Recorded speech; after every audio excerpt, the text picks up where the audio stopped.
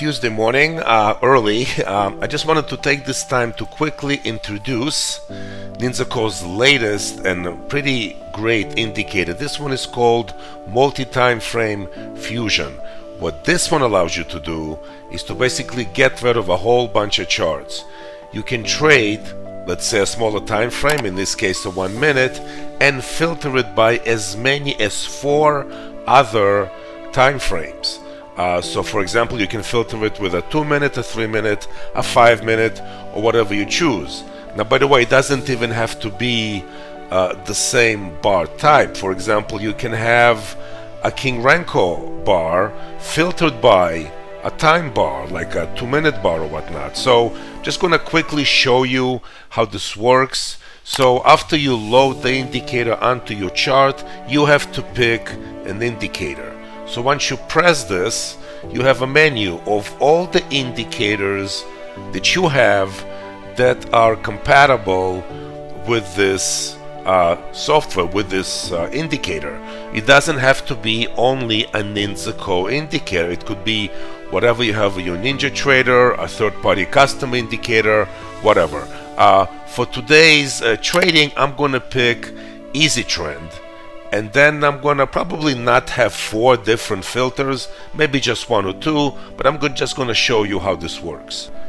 Okay so I picked easy trend uh, and of course you can customize uh, however whatever moving average you want uh, the value you want for the moving average. I'm just gonna use uh, default settings for now.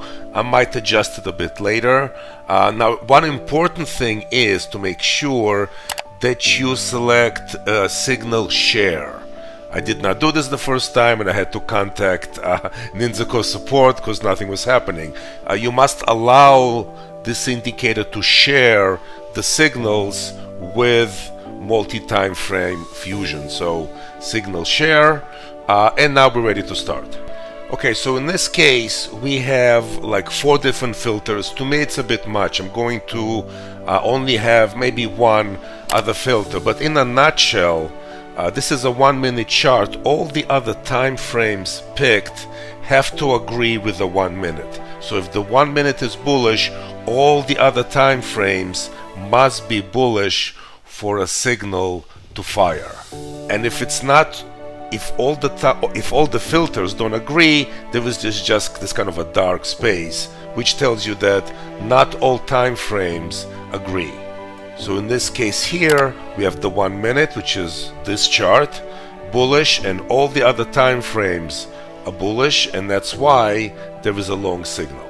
So same thing over here, right? Uh, the one minute was not bullish anymore, but the other time frames were still bullish which is why there is no short signal waiting again for the one minute to be bullish and then a long signal fires so this is the logic uh, behind this indicator and it's great because there is no more need to have a few different charts you know if you want to and you should be really filtering. If you are trading from a smaller time frame for scalps it still helps to trade in a direction of a higher time frame. That definitely staying in a trend with a higher time frame just increases your probability of success. But I will adjust a few things. I think I'm gonna just have one other time frame as a filter. So uh, once you bring up the indicator you get to choose how many filters you want. Now it doesn't have to be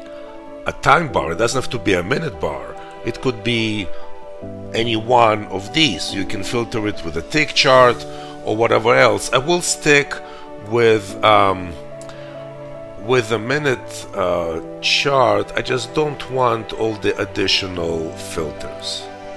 Uh, so what I've done is I only picked one filter, a three minute uh, time frame. So now this one minute is filtered by a three minute. So over here, um, the one minute turned bullish, the three minute was still bullish, which is why there was no short signal here. In this case, the one minute became bearish, uh, however, the three minute stays bullish, so there is no uh, short signal, just gotta wait for the one minute to become bullish again. Uh, looking back, and again, this is overnight, but looking back, here we have the 3 minute becoming bearish. The 1 minute is bearish and so there is a short signal. A few more bullish examples right? When two time frames agree here is a long here is a long nor short because the three minute is still bullish and so on. So you can pick I mean you can definitely make it uh, for example a tick chart filtered by a time chart or you can have a one minute filtered by a three minute and a five minute. You can add I think I'm just okay with uh, just with one filter. I think this is good enough uh, for uh, for day trading so uh, as of right now we can see that um, the one minute is for example here bearish the three minute is bearish and the three minute is still bearish which is why there was a short signal here. This is a voiceover. I was running a room uh, when this uh, signal triggered so I could not uh, give a live commentary. But basically what I was waiting for is for the one minute to turn bullish so again this is a one minute filtered by the three um, the one minute actually was bullish. I was actually waiting for the three minute to turn bullish because the one minute obviously would be bullish first. Um, and as soon as the three minute turned bullish, that's when a signal appeared.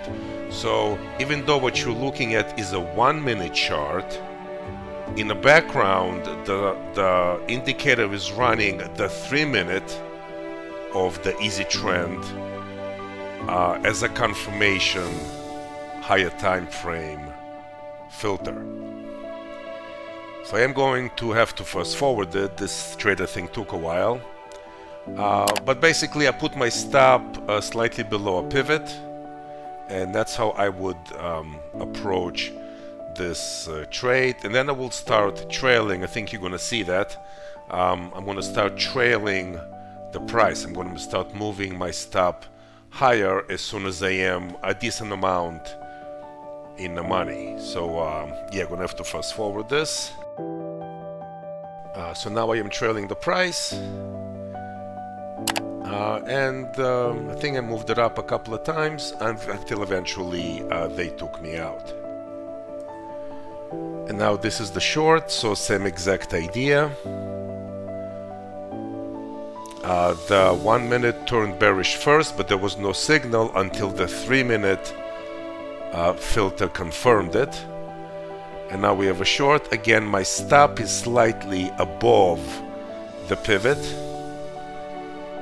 I know most people have a fixed uh, stop let's say 20 or 40 ticks whatever. The problem with fixed uh, stops is that the market of course doesn't care about how many ticks you're willing to risk uh, but markets do tend to respect their structure so that's why uh, when I trade, I take a look at the pivot and I simply put my stop. In the case of a short, slightly above the pivot. In the case of a long, slightly below the pivot. And then I will move it as soon as I am in the money.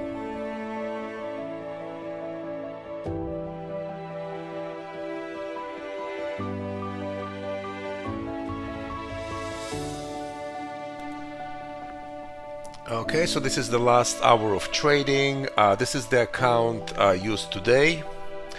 Uh, and uh, yeah, so great, great signals. And this indicator really uh, gets rid of the need of having a few charts open if you are looking for a confirmation of a higher time frame. Um, and again plenty of really great signals. And this is as simple as it gets right? One minute filtered by a three minute. Uh, easy trend indicator uh, I think a very underrated indicator that ninZa.co has. It happens to be really great. Uh, so yeah I mean no great great signals one after another. Um, but easy trend is not the only indicator that you can use uh, to filter trades. Let me show you something. So on this chart, I use the RK System Platinum as the indicator. So when I press the indicator, um, it's in a different window, hold on, here it is. Uh, you can see that I picked RK System Platinum to filter the trades and give signals. So um, uh, so this is the King Renko bar. It is filtered by a one minute. So in other words, um, in this case, multi-time frame fusion is going to be using a one minute on RK System Platinum as a filter to the King Renko bar RK System Platinum. So how amazing is that? So as soon as the market opens, both the one minute and the King Renko bar are both bearish, short signal. Uh, then the King Renko bar goes bullish, but the one minute is still bearish, so there is no long signal. Now the one minute goes bullish, and so we have a long signal.